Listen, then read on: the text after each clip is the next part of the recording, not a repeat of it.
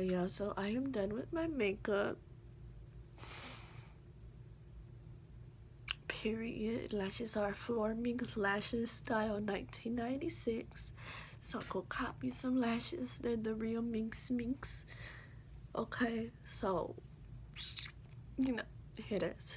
But um, it is currently almost nine o'clock, and the aquarium don't open until like 10 so we're gonna leave like around 9.30ish because it's like 20 minute drive.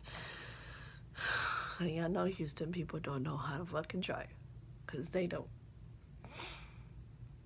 We don't know how to drive and it's upsetting. The fuck? But um yeah y'all. Excuse my bad acne it's the bad acne for me y'all. Look at this. This is crazy. But anyways y'all can we just like oh my god this is so cute.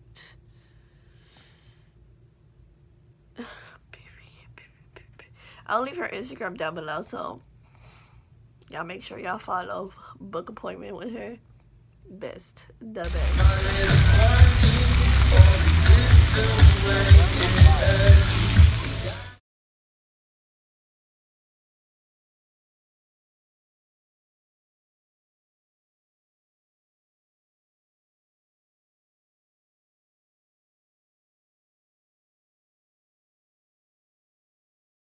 just ahead was built in the late 1800s.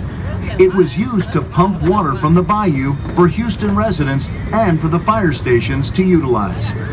Over the next 100 years, as Houston grew, fresh water became apparent, and that became the end of the waterworks building. Now, it's home to 200,000 gallons of seawater.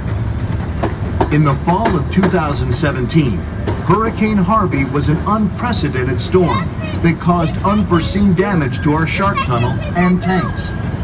The life support systems and all electrical were destroyed. It was engulfed with 27 feet of water.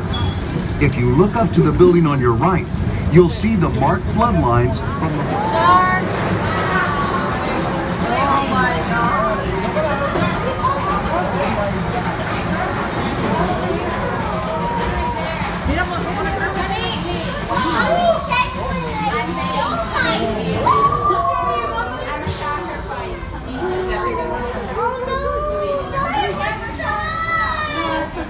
It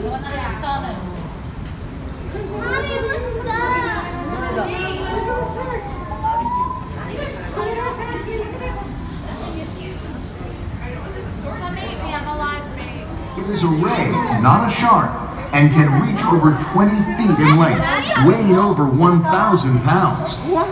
The sawfish uses its toothed saw to kill its prey.